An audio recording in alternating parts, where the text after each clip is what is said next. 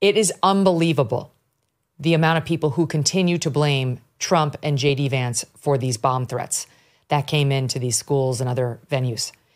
It came out yesterday that it was a foreign country.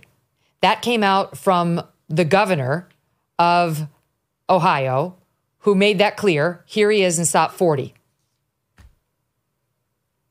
Least 33 separate uh, bomb threats, each one of which uh, has been uh, responded to, and each one of whom has been found uh, as a hoax. So 33 uh, threats, 33 hoax. I want to make that very, very clear. None of these had any validity uh, at all. Uh, we have people, unfortunately, overseas who are taking these actions. Uh, some of them are coming from one particular country. Um, we think that this is, uh, you know, one more opportunity to mess with the United States, and they're they're continuing to do that. Let me just remind you of that Norah O'Donnell clip that we just played. That this is her last night, last night, Monday night. We knew by then that it was not a local, that it was hoaxes from overseas. Listen. Donald Trump is blaming Democrats for inflaming political rhetoric, but the former president's own words seem to be increasing the threat of political violence in Springfield, Ohio. That's where a false and ugly accusation against Haitians, thousands of whom are legal permanent residents, is impacting everyday life. She just goes with it. Just double down. Didn't happen. Didn't hear it. No, it's got to be a Trump inspired loon. It's the Proud Boys. It's one of those guys for sure. I just know it in my heart, notwithstanding what the governor had released. We knew this yesterday afternoon. And here's Ana Navarro. Here she is on The View yesterday before we knew, but she was totally, sorry, she was, no, no. Okay, sorry. This is, uh, yeah, so this, here she is. Yes, the, here, here she is on CNN this morning after we knew. Okay, after we knew. Take a listen. Donald Trump and JD Vance are not questioning their rhetoric. Right now, because of their rhetoric, because of what he said in that debate, there's been 33 bombing threats in Springfield, Ohio that would not have happened but for this false conspiracy theory being spread by the vice presidential and presidential Republican candidate.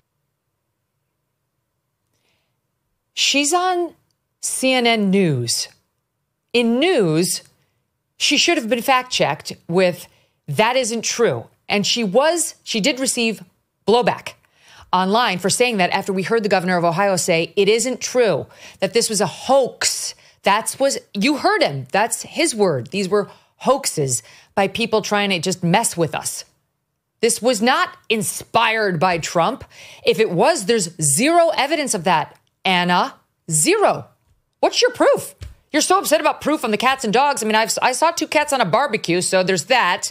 But let's put that to the side. What's your proof that Donald Trump inspired this as opposed to the town council meeting yesterday or last week that person after person showed up to complain at?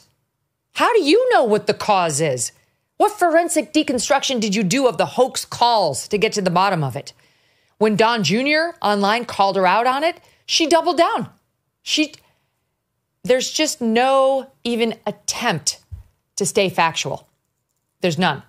I mean, on this show, we told you we don't know what the truth is about the animals, but we're showing you the evidence that's on the one side, and we're telling you about what the city officials are saying on the other side. The, the, the rest of the media wants to pretend that they have affirmatively settled it, and they haven't. Just false claims, false claims. And of course, this all belies and under, undermines the, the overall issue, which is what the migrants are actually doing to this town, what the residents are actually going through, not just in Springfield, but in towns across this country, because there are over a million of them there or on their way, thanks to this administration.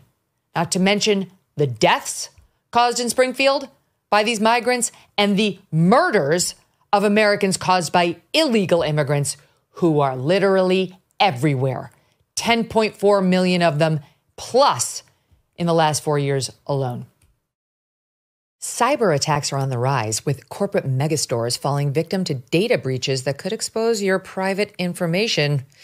Now, these same megastores are lobbying DC politicians to pass the Durbin Marshall credit card bill. According to our sponsor, Electronic Payments Coalition, this bill could leave you even more vulnerable to credit card cyber attacks, while megastores pocket billions in additional profits.